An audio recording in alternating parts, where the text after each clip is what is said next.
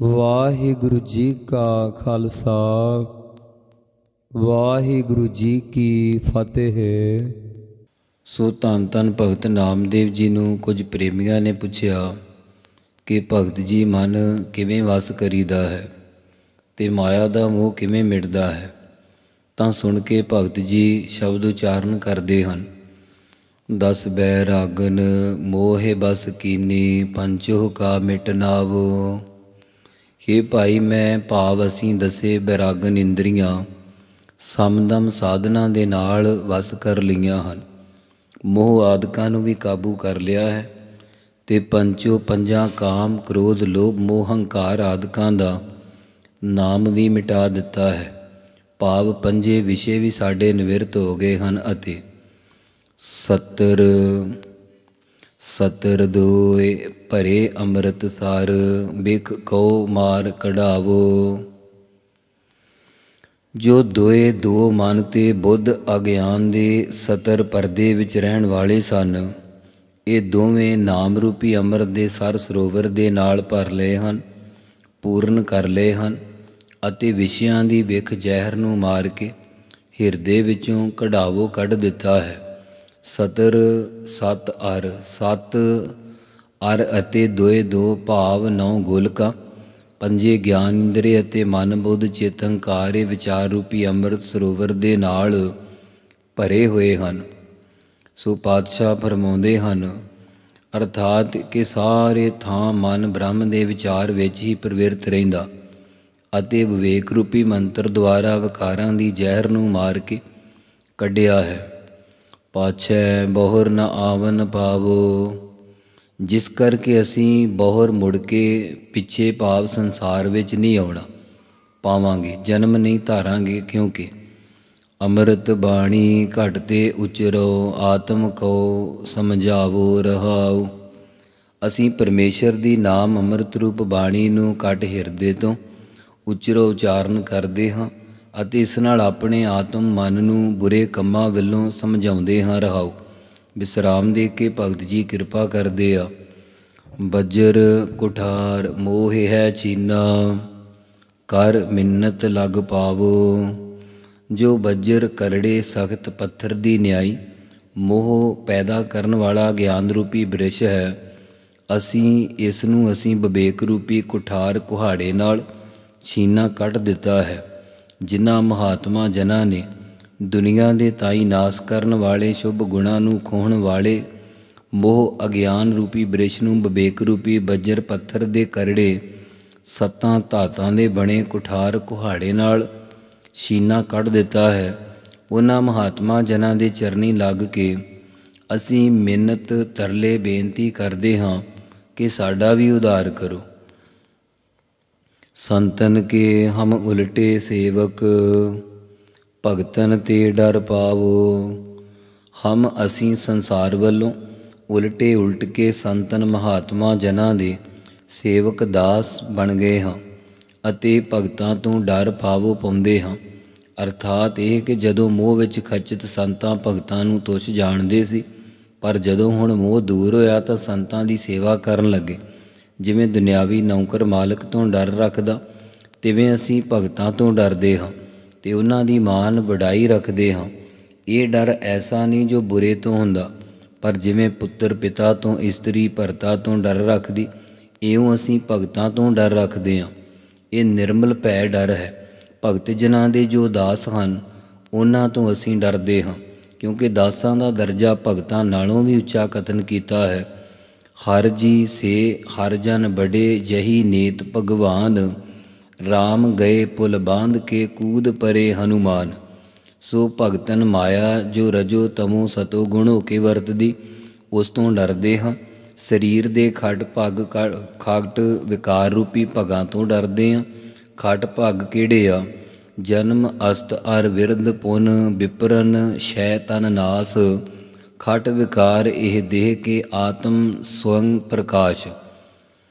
ਇਹ ਸੰਸਾਰ ਤੇ ਤਬ ਹੀ ਛੂਟੋ ਜੋ ਮਾਇਆ ਨਹਿ ਲਪਟਾਵੋ। हे ਭਾਈ ਇਹ ਸੰਸਾਰ ਜਗਤ ਦੇ ਬੰਧਨਾਂ ਤੋਂ ਤਦ ਹੀ ਛੁਟਕਾਰਾ ਪਾਵਾਂਗੇ, ਭਾਵ ਮੁਕਤ ਹੋਵਾਂਗੇ, ਜੇਕਰ ਮਾਇਆ ਵਿੱਚ ਆਪਣੇ ਚੇਤ ਨੂੰ ਨਹੀਂ ਲਪਟਾਵਾਂਗੇ, ਭਾਵ ਨਿਰਲੇਪ ਰਹਾਂਗੇ। ਮਾਇਆ ਨਾਮ ਗਰਭ ਜੂਨ ਕਾ, ਤਿਹ ਤਜ ਦਰਸ਼ਨ ਪਾਵੋ। ਅਗਿਆਨ ਕਰਕੇ ਵਾਰ-ਵਾਰ ਮਾਤਾ ਦੇ ਗਰਭ ਪੇਟ ਦੁਆਰਾ ਜੁਨੀਆਂ ਵਿੱਚ ਆਉਣ ਦਾ ਨਾਮ ਹੀ ਮਾਇਆ ਹੈ। ਤੇ ਉਸ ਮਾਇਆ ਦੇ ਮੋਹ ਨੂੰ, ਅਗਿਆਨ ਨੂੰ ਗਿਆਨ ਦੁਆਰਾ ਤਜ ਤਿਆਗ ਕੇ ਹੀ ਅਸੀਂ ਸਰੂਪ ਦੀ ਲਖਤਾ ਰੂਪ ਦਰਸ਼ਨ ਦਿਦਾਰਾਂ ਨੂੰ ਪਾਉਣਾ ਕੀਤਾ ਹੈ। ਇਤ ਕਰ ਭਗਤ ਕਰਹਿ ਜੋ ਜਨ, ਤਿਨ ਭਉ ਸਗਲ ਚੁਕਾਈਐ। ਜਿਹੜੇ ਗੁਰਮੁਖ ਜਨ ਹਿਰਦੇ ਵਿੱਚ ਮਾਇਆ ਦੀ ਇੱਛਾ ਨੂੰ ਇਤ ਸਮਾਪਤੀ ਕਰਕੇ, ਇਤ ਇਸੇ ਮਨੁੱਖਾ ਜਨਮ ਕਰਕੇ ਪਰਮੇਸ਼ਰ ਦੀ ਭਗਤੀ ਕਰਦੇ ਹਨ। ਉਹਨਾਂ ਦਾ ਸਾਰਾ ਜੰਮਣ ਮਰਨ ਦਾ ਡਰ ਚੁੱਕ ਦਿੱਤਾ ਹੈ। ਉਹਨਾਂ ਦੀ ਸੰਗਤ ਕਰਕੇ ਜੰਮਣ ਮਰਨ ਦਾ ਹੀ ਭੈ ਚੁਕਾ ਲਈਦਾ ਹੈ। ਕਹਿਤ ਨਾਮ ਦਿਓ ਬਾਹਰ ਕਿਆ ਭਰਮੋਹ ਇਹ ਸੰਜਮ ਹਰ ਪਾਈਐ। ਭਗਤ ਨਾਮਦੇਵ ਜੀ ਕਥਨ ਕਰਦੇ ਹਨ ਕਿ हे ਭਾਈ ਬਾਹਰ ਸੰਸਾਰ ਵਿੱਚ ਕੀ ਭਟਕਦੇ ਫਿਰਦੇ ਹੋ? ਇਸ ਸੰਜਮ ਤਾ ਸਾਧਨ ਕਰਕੇ ਭਾਵ ਵਿਕਾਰਾਂ ਦੀ ਨਿਵਰਤੀ ਤੇ ਗੁਣਾਂ ਦੀ ਧਾਰਨਾ ਕਰਕੇ ਪਰਮੇਸ਼ਰ ਨੂੰ ਪਾ ਲਈਦਾ ਹੈ। ਸੋ ਭਗਤ ਨਾਮਦੇਵ ਜੀ ਦੇ ਸਮਕਾਲੀ ਇੱਕ ਸਿੱਧੀਆਂ ਦੇ ਮਾਲਕ ਮਹਾਤਮਾ ਸਨ। ਇਹਨਾਂ ਦੀ ਆਪਸ ਵਿੱਚ ਚਰਚਾ ਹੁੰਦੀ ਰਹਿੰਦੀ ਸੀ। ਇੱਕ ਵਾਰੀ ਭਗਤ ਨਾਮਦੇਵ ਜੀ ਤੇ ਇਹ ਮਹਾਤਮਾ ਜੀ ਦੋਵੇਂ ਮਾਰਵਾੜੀ ਦੇ ਇਲਾਕੇ ਵਿੱਚ ਚਲੇ ਗਏ। ਗਰਮੀ ਦੀ ਰੁੱਤ ਸੀ, ਜਿਸ ਵੇਲੇ ਭਗਤ ਨਾਮਦੇਵ ਜੀ ਨੂੰ ਪਾਣੀ ਦੀ ਪਿਆਸ ਲੱਗੀ, ਤਾਂ ਭਗਤ ਜੀ ਨੇ ਇੱਕ ਖੂਹ ਵੇਖਿਆ ਤੇ ਪਾਣੀ ਪੀਣ ਲਈ ਉੱਥੇ ਚਲੇ ਗਏ। ਜਦੋਂ ਕੁਝ ਖੜੇ ਲੋਕਾਂ ਤੋਂ ਪੁੱਛਿਆ, ਭਾਵ ਲੋਕਾਂ ਨੂੰ ਜਦੋਂ ਉਥੋਂ ਪੁੱਛਿਆ, ਉਹਨਾਂ ਨੂੰ ਪਾਣੀ ਬਾਰੇ ਪੁੱਛ ਕੇ ਪਾਣੀ ਮੰਗਿਆ, ਤਾਂ ਉਹਨਾਂ ਨੇ ਇਹ ਕਹਿ ਕੇ ਜਵਾਬ ਦੇ ਦਿੱਤਾ ਕਿ ਹੁਣ ਖੂਹ ਨੂੰ ਜਿੰਦਰਾ ਲੱਗ ਚੁੱਕਾ ਹੈ, ਸਵੇਰੇ ਖੂਹ ਖੁੱਲੇਗਾ ਉਦੋਂ ਵਕਤ ਸਿਰ ਆ ਕੇ ਪਾਣੀ ਪੀ ਲੈਣਾ। ਉਸ ਮਹਾਤਮਾ ਨੇ ਸਿੱਧੀ ਦੀ ਸ਼ਕਤੀ ਨਾਲ ਨਿੱਕਾ ਜਿਹਾ ਰੂਪ ਧਾਰ ਕੇ ਖੂਹ ਵਿੱਚ ਗਏ ਤੇ ਖੂਹ ਵਿੱਚੋਂ ਪਾਣੀ ਪੀ ਕੇ ਬਾਹਰ ਆਏ ਤੇ ਇੱਕ ਗੜਵੀ ਪਾਣੀ ਦੀ ਨਾਮਦੇਵ ਜੀ ਨੂੰ ਵੀ ਲਿਆ ਕੇ ਦੇ ਦਿੱਤੀ। ਜਦੋਂ ਨਾਮਦੇਵ ਜੀ ਨੂੰ ਪਾਣੀ ਫੜਾਉਣ ਲੱਗੇ ਤਾਂ ਨਾਮਦੇਵ ਜੀ ਕਹਿਣ ਲੱਗੇ ਕਿ हे ਮਹਾਤਮਾ ਜੀ, ਮੈਂ ਤੇਰੇ ਸਿੱਧੀ ਦੇ ਬਾਲ ਨਾਲ ਲਿਆਂਦਾ ਪਾਣੀ ਨਹੀਂ ਪੀਣਾ।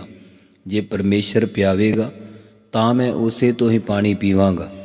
ਜਦੋਂ ਇਉਂ ਨਾਮਦੇਵ ਜੀ ਨੇ ਪਾਣੀ ਪੀਣ ਤੋਂ ਜਵਾਬ ਦੇ ਦਿੱਤਾ, ਤਾਂ ਪਰਮੇਸ਼ਰ ਦੀ ਐਸੀ ਕਿਰਪਾ ਹੋਈ ਕਿ ਖੂਹ ਵਿੱਚੋਂ ਆਪੇ ਹੀ ਪਾਣੀ ਉਛਲ ਕੇ ਬਾਹਰ ਨਿਕਲਣ ਲੱਗ ਪਿਆ। ਭਗਤ ਨਾਮਦੇਵ ਜੀ ਨੇ ਜਲ ਛਕਣ ਤੇ ਛਕਿਆ ਤੇ ਨਾਲੇ ਇਸ਼ਨਾਨ ਕੀਤਾ ਅਤੇ ਉਸੇ ਵੇਲੇ ਪ੍ਰਸੰਨਤਾ ਸਹਿਤ ਹੋ ਕੇ ਸ਼ਬਦ ਉਚਾਰਨ ਕੀਤਾ, ਮਾਰਵਾੜ ਜੈਸੇ ਨੀਰ ਬਾਲਹਾ। ਬੇਲ ਬਾਲਹਾ ਕਰਹਲਾ। ਜੈਸੇ ਜਿਸ ਪ੍ਰਕਾਰ ਮਾਰਵਾੜ ਰੇਤਲੇ ਦੇਸ਼ਾਂ ਨੂੰ, ਮਾਰਵਾੜੀ ਲੋਕਾਂ ਨੂੰ ਨੀਰ ਪਾਣੀ ਬਾਲਹਾ ਪਿਆਰਾ ਲੱਗਦਾ ਹੈ ਤੇ ਕਰਹਲਾ ਊਠਾਂ ਨੂੰ ਕਰੇਲੇ ਆਦਿਕ ਵੇਲਾਂ ਬਾਲਹਾ ਪਿਆਰੀਆਂ ਲੱਗਦੀਆਂ ਹਨ। ਜਿਉ ਕੁਰੰਕ ਨਿਸ ਨਾਦ ਬਾਲਹਾ, ਤਿਉ ਮੇਰਾ ਮਨ ਰਾਮਈਆ। ਜਿਵੇਂ ਕੁਰੰਕ ਹਿਰਨ ਦੇ ਤਾਈ ਨਿਸ ਰਾਤ ਨੂੰ ਕੰਡਾ ਹੇੜੇ ਦਾ ਨਾਦ ਸ਼ਬਦ ਬਾਲਹਾ ਨਾਮ ਪਿਆਰੇ ਦਾ ਹੈ, ਭਾਵ ਪਿਆਰਾ ਲੱਗਦਾ ਹੈ। ਤਿਵੇਂ ਸਾਡੇ ਮਨ ਹਿਰਦੇ ਵਿੱਚ ਰਾਹ ਮਈਆ, ਰਮੇ ਹੋਏ ਪਰਮੇਸ਼ਰ ਦਾ ਨਾਮ ਪਿਆਰਾ ਲੱਗਦਾ ਹੈ। ਤੇਰਾ ਨਾਮ ਰੂੜੋ, ਰੂਪ ਰੂੜੋ। ਅੰਤ, ਅਤ ਰੰਗ ਰੂੜੋ, ਮੇਰੋ ਰਾਮਈਆ ਰਹਾਉ।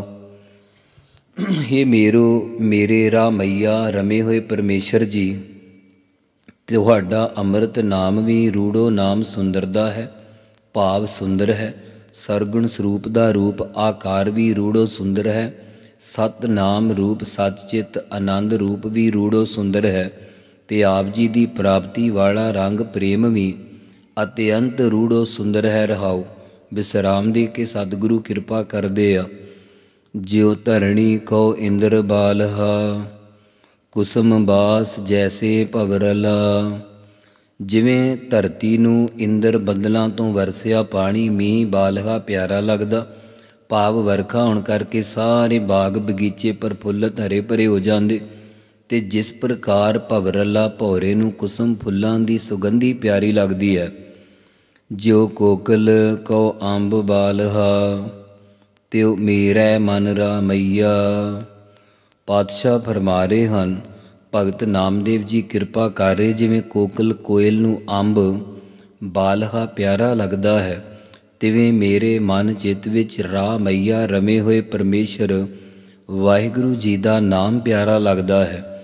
ਜਿਵੇਂ ਕੋਇਲ ਦੀ ਨਿਆਈ ਸੰਤ ਜਨ ਦੀ ਵੈਰਾਗ ਵਾਲੀ ਜ਼ੁਬਾਨ ਨੂੰ ਅੰਬ ਦੀ ਨਿਆਈ ਸਤਸੰਗਤ ਪਿਆਰੀ ਲੱਗਦੀ ਹੈ, ਤਿਵੇਂ ਰਮਿਆ ਹੋਇਆ ਪਰਮੇਸ਼ਰ ਮੇਰੇ ਮਨ ਵਿੱਚ ਪਿਆਰਾ ਲੱਗਦਾ। ਚਕਵੀ ਕਉ ਜੈਸੇ ਸੂਰ ਬਾਲਹਾ, ਮਾਨ ਸਰੋਵਰ ਹੰਸੁਲਾ।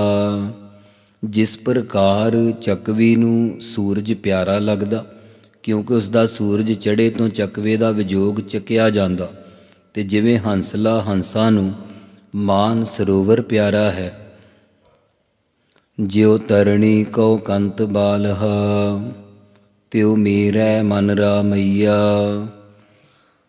ਭਗਤ ਨਾਮਦੇਵ ਜੀ ਕਿਰਪਾ ਕਰਕੇ ਦੱਸ ਰਹੇ ਆ, ਜਿਵੇਂ ਸੱਤ ਵਾਲੀ ਤਰਣੀ ਨੌਜਵਾਨ ਇਸਤਰੀ ਨੂੰ, ਆਪਣਾ ਕੰਤ ਪਤੀ ਬਾਲਹਾ ਪਿਆਰਾ ਲੱਗਦਾ, ਤਿਵੇਂ ਮੇਰੇ ਮਨ ਨੂੰ ਰਮਿਆ ਹੋਇਆ ਪਰਮੇਸ਼ਰ ਵਾਹਿਗੁਰੂ ਪਿਆਰਾ ਲੱਗਦਾ ਹੈ।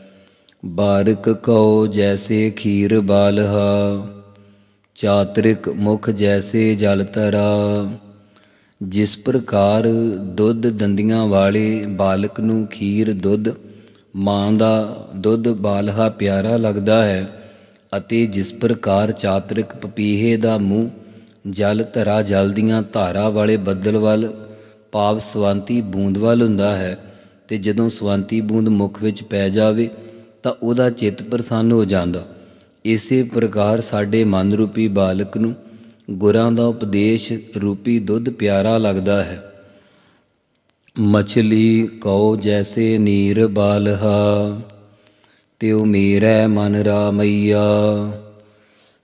ਜਿਸ ਪ੍ਰਕਾਰ ਮੱਛੀ ਨੂੰ ਨੀਰ ਪਾਣੀ ਬਾਲਹਾ ਪਿਆਰਾ ਲੱਗਦਾ, ਤਿਵੇਂ ਹੀ ਮੇਰੇ ਮਨ ਵਿੱਚ ਰਾਹ ਮਈਆ ਰਮਿਆ ਹੋਇਆ ਪਰਮੇਸ਼ਰ, ਪਿਆਰਾ ਲੱਗਦਾ ਹੈ।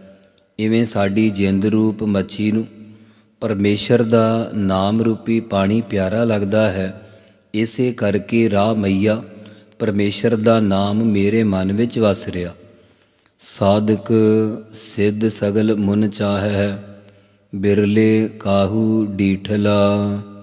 ਸਾਧਕ ਸਾਧਨਾ ਕਰਨ ਵਾਲੇ ਪੁਰਖ ਸਿੱਧ ਰਿੱਧੀਆਂ ਸਿੱਧੀਆਂ ਦੀ ਪ੍ਰਾਪਤੀ ਵਾਲੇ, ਸਿੱਧ ਮੁਕਤ ਪੁਰਖ ਭਾਵ ਚਾਰ ਪ੍ਰਕਾਰ ਦੀਆਂ ਮੁਕਤੀਆਂ, ਤੇ ਸਗਲ ਸਾਰੇ ਜੋ ਮੁਨ ਮੁਨੀ ਮੰਨਣਸ਼ੀਲ ਹਨ, ਇਹ ਸਾਰੇ ਹੀ ਪਰਮੇਸ਼ਰ ਦੇ ਦਰਸ਼ਨਾਂ ਨੂੰ ਚਾਹੁੰਦੇ ਹਨ।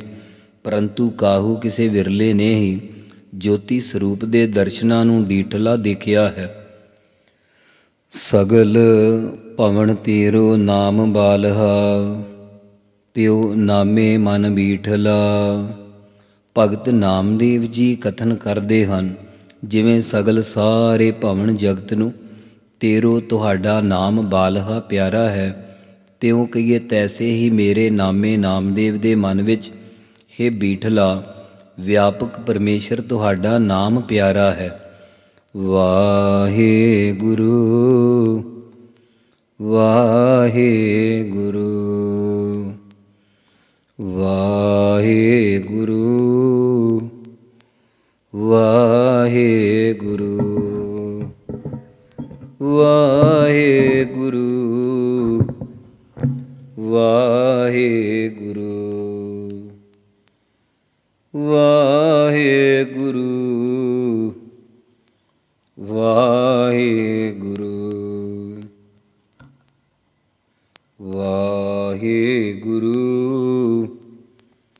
ਵਾਹਿਗੁਰੂ ਵਾਹਿਗੁਰੂ ਵਾਹਿਗੁਰੂ ਵਾਹਿਗੁਰੂ ਵਾਹਿਗੁਰੂ ਜੀ ਕਾ ਖਾਲਸਾ ਵਾਹਿਗੁਰੂ ਜੀ ਕੀ ਫਤਿਹ।